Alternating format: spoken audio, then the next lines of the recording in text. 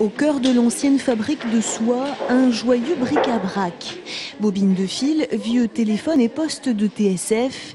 Ici, le chineur trouve à coup sûr son bonheur. Et pour certains tourangeaux qui connaissent l'entreprise depuis leur plus jeune âge, c'est un bout de leur histoire qui revit aujourd'hui. Je suis attiré par l'histoire de, cette, de cette fabrique et euh, je pense qu'il y avait beaucoup de choses à, voir euh, et peut-être à acheter aussi, mais euh, euh, je pense que c'est surtout aussi l'histoire que ça peut représenter au niveau de, la Touraine. Quoi.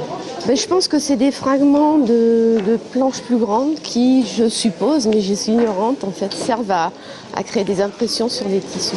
Bon, bah là, de savoir que tout va se disperser, effectivement, euh, bah, c'est un peu touchant. Puis de venir euh, retoucher les soies, les bobines de fil, ces, objets-là, c'est assez émouvant pour cette soirée née en 1853 et qui a délocalisé sa production et ses machines à Èvres-sur-Indre, il fallait faire place nette par le biais d'une vente telle que celle-ci.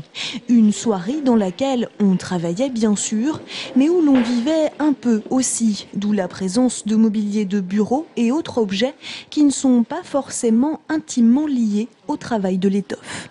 Tout ce qui est ici, ce sont des, choses qui étaient... Euh, dans les caves, dans les greniers, euh, dans des, bâtiments qu'on n'exploitait plus. Donc euh, ce ne sont pas des choses essentielles à, à la poursuite de l'activité. Dès la fin de l'année, les quelques 4000 mètres carrés de cette manufacture tourangelle seront investis par la Société d'équipement de la Touraine. Des locaux qui pourraient un jour devenir musée de la soie. Une idée lancée en 1987, mais qui pour l'heure reste dans les cartons, dans l'attente d'investisseurs.